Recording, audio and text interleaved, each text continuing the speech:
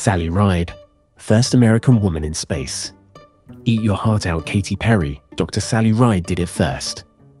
At 7:33 a.m. Eastern Time on the 18th of June 1983, the Space Shuttle Challenger launched from Kennedy Space Center in Florida. A first moment in history, this launch included Dr. Sally Kristen Ride, making her the first American woman in space. Ride's life was full of amazing achievements even before this moment. She was a physicist and a former nationally ranked tennis player. Furthermore, her bachelor's, master's, and PhD in physics were all earned at Stanford University. What? A roster. In 1977, Ride saw a NASA newspaper ad asking for astronauts. She beat over 8,000 other people for the opportunity. She was one of 35 people selected and only one of six women. Ride became an expert in operating the robotic arm of the shuttle while training as a mission specialist. Her mission lasted six days and was known as STS 7.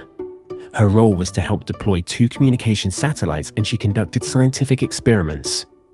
While Ride changed history championing women as equal, it did little to stop the sexist questions posed to her that her male counterparts did not face. However, Ride rose above it all and answered with dry humour and the utmost professionalism. Though Ride was not the first woman in space, that special moment in history is saved for Soviet cosmonaut Valentina Tereshkova in 1963. Ride was the first American woman, and flying again in 1984, she was the first American woman to go to space twice. In 2012, Ride passed away from pancreatic cancer. Don't forget to like and subscribe to our channel and watch our next episode.